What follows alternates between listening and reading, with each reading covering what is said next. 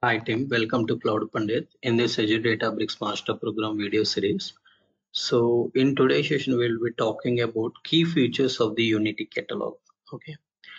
So key features of the Unity Catalog, if you see, what is Unity Catalog? So Unity Catalog is a centralized metadata repository for Databricks that provides data governance, lineage, discovery capabilities which means centralized as a one place data about data we are storing for the Databricks. That basically helps to uh, define the data governance rules what rules the data has to follow and what is the dependency between the tables okay. And uh, how quickly we can able to identify the data through the data, like discovery capability meaning we can able to give some tags and we can identify data quickly okay? It basically helps to uh, uh, manage data across multiple workspaces users and applications as i discussed in the uh, previous sessions correct? Now so you can think of uh, key features first one is define once and secure everywhere what it means is this means that you can define a data access policies once in Unity catalog here. They will be applied to all workspaces and personas. Personas means different people, different roles, etc. Okay, this can help to improve data security and compliance. If you are managing all the things at a one place, which basically helps to improve the data security and compliance because it will be easy, right?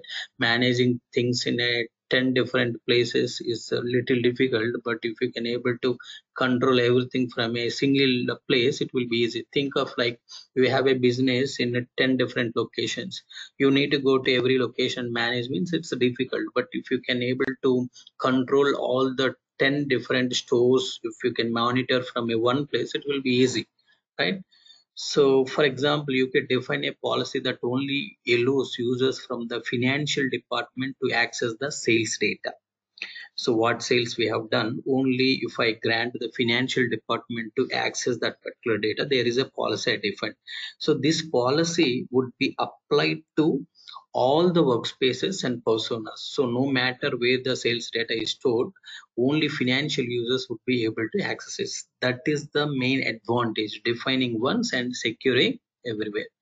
The second um, key feature, if we use standard compliance with the security model, what it means is Unity Catalog security model is based on standard ANSI SQL which means that it is compatible with other security systems. This can make it easier to integrate Unity Catalog with your existing security infrastructure. For example, think of like this already in our current project or uh, existing project or five years back i defined a project or uh, there is development completed there i defined the like uh, security model as a role based access control system. So now we are trying to migrate to the unity catalog will it supports? Yes. Even if you are already using the role based access control system we can able to use the unity catalog to define the rbac rules. Rbac means role based access control so this would allows you to easily manage data access permissions in the unity catalog without having to make changes to your existing RBAC system, whatever you are using current rollback access control system, you can easily integrate with the Unity catalog. You no need to uh, like change it or you no need to rebuild anything. Okay. Next thing is built-in auditing and lineage. So as we discussed in the previous session also, Unity catalog automatically captures audit logs that records who accessed your data and when it, they have accessed. This basically help you to track data usage and identify security breaches. If somebody has access data but is supposed not to access right but we can identify such kind of breaches and we can able to take the action immediately. So that basically helps to say secure our data better way correct? So unity catalog also captures lineage. So if you look at the second point it says unity catalog also captures lineage data that tracks how data assets are created and used okay? So how they are created how they are used everything you can able to see it from the unity unity catalog lineage. We will see those things.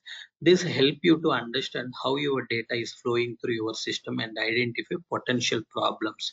Who like uh, which all tables underlying tables are using the main table again that particular table who is using how the data is flowing from uh, the between the different objects everything you can able to see. For example if you are investigating a data breach okay there is somebody has uh, access of the data which they don't have access. So we can able to investigate how you can do. So you can use use the audit logs to see who has access to the data when they have accessed. We can also use the lineage data to see how data was used before the breach. So how he was accessing the data what all things he was doing before he access and uh, uh, like uh, do something personal right?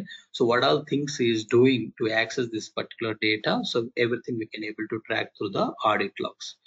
Meaning so three things we discussed. One is define at once and secure everywhere. Second one is standard compliant security model, which makes our uh, existing RBAC systems to integrate with Unity Catalog without rebuilding. Third one is built-in auditing and lineage. So basically lineage is the dependency, auditing is the who access the data, when they have access in case of data breaches and all, we can able to track it, what they have done. So next is data discovery. As I mentioned, so Unity Catalog lets you tag and document data assets, provides a search interface to help data consumers find data very easily. So this basically helps to improve data discovery, uh, discoverability and make it easier for users to find the data they need. For example, you could tag the sales data with the keywords like financial or revenue now what happens, this would make it easier for users who are looking for financial data to find the sales data by using the financial and revenue keywords. When they search, they will get all the data sets which are tagged with this particular financial or revenue. Like that, it will be easy for us to identify the data across the multiple workspaces so system tables it is still in the public view uh, public preview but it is also going to come up in to the uh, real world very soon, right? So Unity Catalog provides a system tables that contains operational data about your account such as audit logs, billable usage, lineage, so linear, you know, right? Audit logs means who is done what, billable usage means what is the cost of this,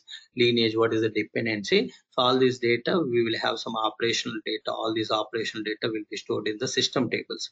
So this data can be used to monitor your account and troubleshoot problems. So, so to see who is accessing what data, what is the charges, uh, like who is consuming uh, data mostly, like uh, which process is charging us, uh, how much so based on that uh, cost reduction, what best we can able to do for the cost reduction, we can take the next actions to minimize the cost as well. Okay. For example, you can use the audit logs to see how much data is being accessed each day.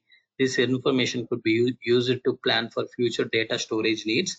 Not only that, building many other things we can able to understand with the help of this operational data, which is stored in the system tables delta sharing which is one of the very important. So basically unity catalog allows users in databricks to share data securely outside of the organization and you need to uh, like uh, this can be managed governed audited and tracked. What it means is you can also say when you are uh, enabled when you create a meta store it will ask you checkbox.